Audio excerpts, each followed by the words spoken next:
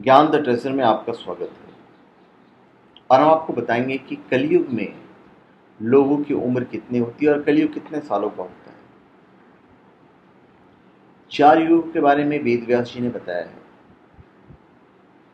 उनके अनुसार सतयुग, त्रेता युग, द्वापर युग और कलयुग है, जो देवताओं के बारह हज़ार दिव्य वर्षों के बराबर होते हैं।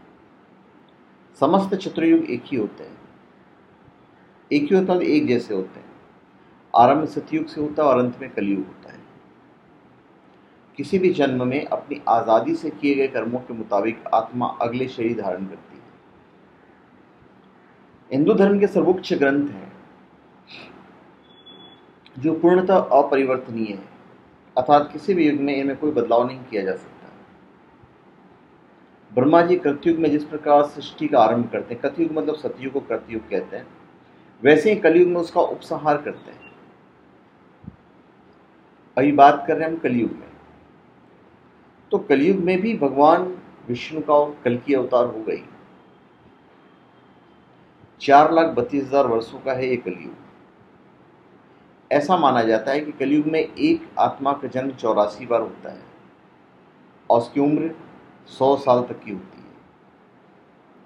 इस युग में इंसान पर्यावरण को तहस नहस कर देगा और इस युग में इंसान की इच्छा पूर्ति कम हो जाएगी और पाप का भागीदार बन जाएगा कलयुग के अंतिम काल में भगवान विष्णु का कल की अवतार होगा और यह अवतार विष्णु यशा नामक ब्राह्मण के घर जन्म लेगा। भगवान कल की बहुत ऊँचे घोड़े पर चढ़कर अपनी विशाल तलवार से सभी अधर्मियों का नाश करेंगे।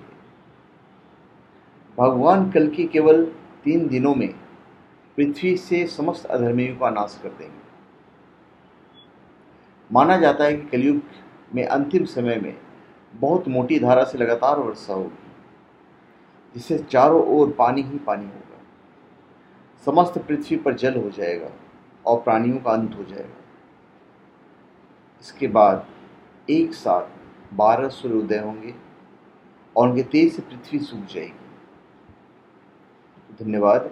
आप हमारे चैनल पर सब्सक्राइब करें और अपने कमेंट दीजिए। धन्यवाद।